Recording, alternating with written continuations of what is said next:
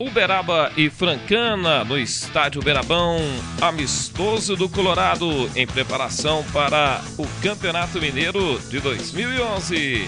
Amaral cobra falta de longa distância e Fernando manda para escanteio. Agora Amaral bate falta para Wesley que chuta para fora. Aqui Maradona faz um lindo drible e recebe aplauso da torcida uberabense cruzamento da esquerda e Amaral quase marca gol contra. Marcinho faz a cobrança de escanteio e Juninho Cearense cabeceia para fazer o primeiro da partida. Novamente o gol de Juninho Cearense, fazendo Beraba 1, Brancana 0. A tentativa da Francana nesse chute, mas a arbitragem anota impedimento.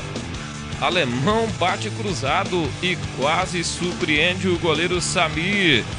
Cruzamento da esquerda e Rodrigo quase marca gol contra.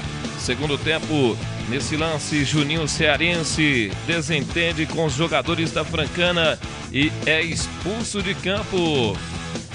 Amaral cobra falta de longe e Fernando manda para escanteio.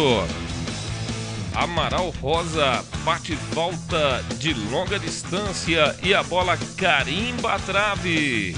Hugo chuta do meio da rua e a bola passa por cima do gol. Amaral chuta de longe para a defesa de Fernando. Elton faz a jogada pela esquerda para Obina, que tenta, mas Samir defende.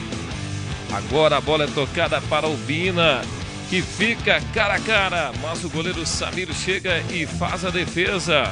Um grande momento para o Beraba.